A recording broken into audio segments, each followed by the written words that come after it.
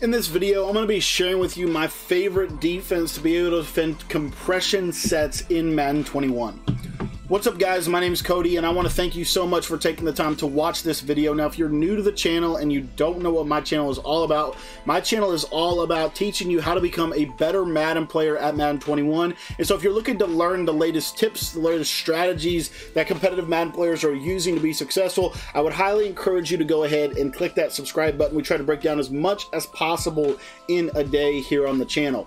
Now if you're new to the channel and you don't know, I actually have a full uh, defensive ebook as well. One of the ways that I help people get better on the defensive side of the ball is through writing basically full strategy guides that explain in depth how to run a defensive scheme. And so if you want to get my full nickel 335 wide defensive ebook, that link is available in the description of this video. It's just $15, walks you through the whole thing, and we're going to be sharing with you a little bit of a principle of the 335 wide ebook with you in this video.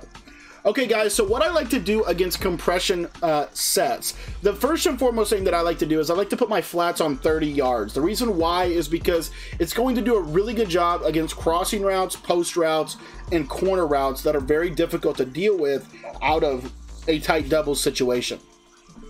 The next thing that I like to do is I like to put my curl flat zones, as you can see right here, I like to put my curl flat zones on uh, on 10 yards. And the reason why I like to do this on 10, sometimes I will put them on 5, but more than likely you're going to see that I'm going to put these on 10 yards. And the biggest reason for that is because it does a really, really good job against curl routes, stock out routes, um, the shorter corner routes that you'll see are like the sharp cutting out corner routes, motion slants, 10 yard curl flats get a lot of things um, that people will throw at you.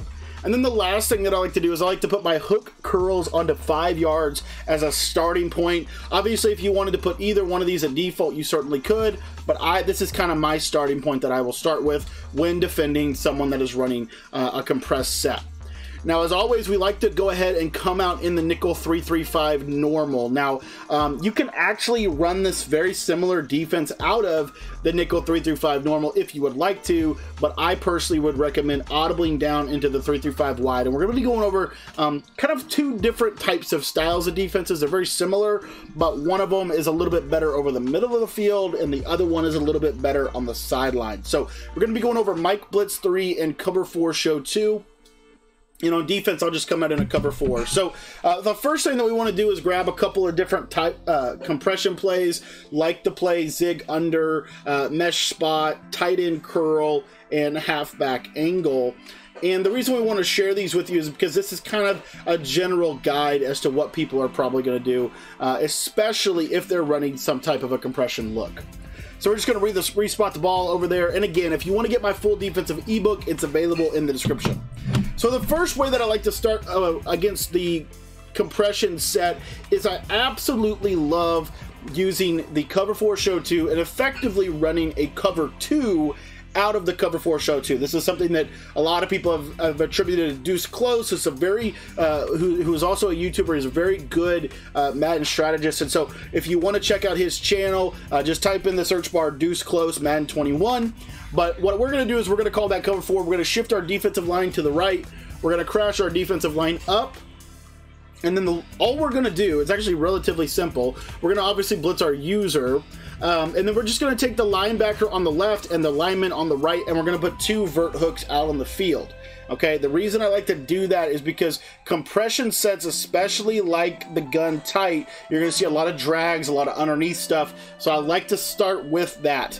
And then the last thing that I'm going to do is I'm going to put both of the corners on the outside onto cloud flats. And then I'm just going to lurk in the middle of the field and try to take away any like post routes or, or deep things that I need to.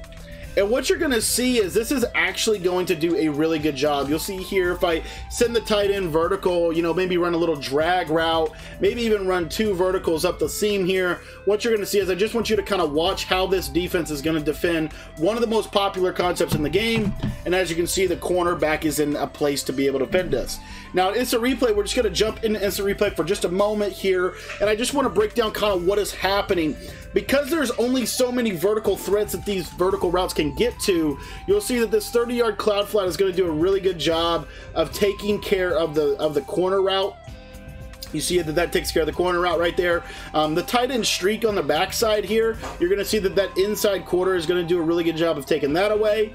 And then the last thing that we're going to show you here is that this inside quarter right here takes that away. And then again, if uh, for those guys that like to run drag routes, if you watch this drag route, you see that because there's nothing else in the middle of the field, you see how that vertical hook kind of carries that really, really nicely to the flat. Does a really, really good job. And then the only thing really open is this wheel route to the running back. But if they throw this, we're going to come up and tackle him for about, you know, maybe one, two yards. And if you have acrobat on your cornerbacks and MUT, which would be the ability that I personally recommend right now, you would see a lot of success from that as well.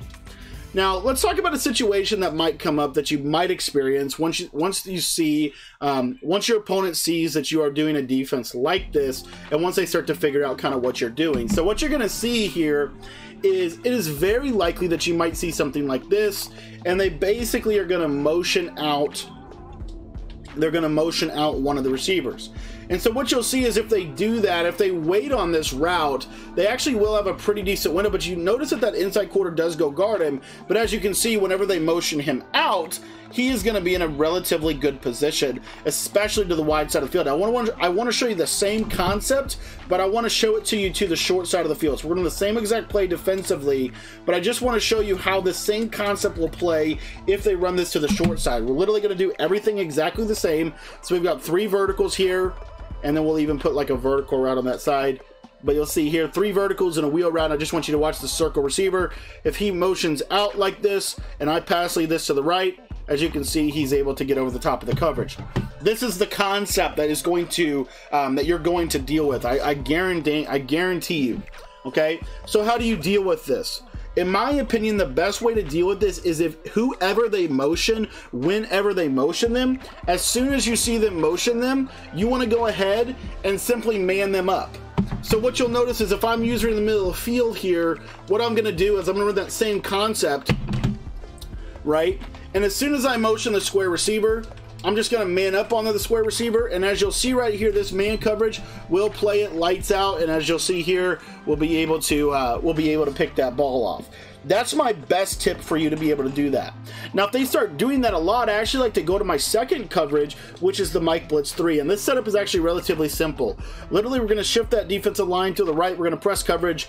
And then from there, all we're going to do is we're going to um, essentially shade coverage down, shade coverage up so that our cloud flats are coming from the safeties uh, and the corners and then we're going to put our both of our linebackers into seam flats. That's literally all the adjusting that we need to do on this play, and of course we're going to pass commit. Now, if you wanted to, you could shade uh, uh, crash your line out and then drop the right of screen guy into a three reg zone. It's up to you. But what you'll notice is if they run that same uh, concept here, number one, the vertical routes are not going to get open. But even more importantly, because we put that back to 30 yards, as you can see, this is the one thing I did want to hit on though. As you can see, that that route does get open. That route does get open. So I want you to make sure that you're completely aware that that route can get open. So another another thing that you can do to deal with this a little bit is you could effectively run an outside quarter on that left side um, and then you could have again your your cloud flats or whatever, and then you could play it something like this right here. You know, maybe you deep half the short side, and then maybe you essentially play like a cover six invert.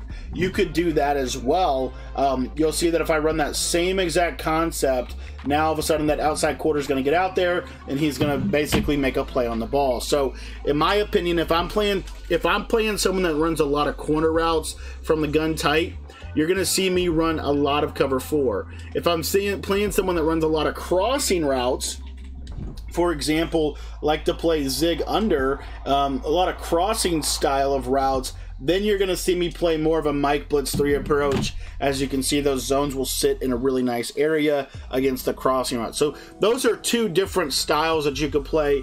Um, obviously, if you wanted to, the other thing that is really good against compression is simply running Mike Blitz 3 because everything is so crammed together in there. If you blitz them like crazy, it's very hard. The routes take a little bit longer to get open, in my opinion, from compression.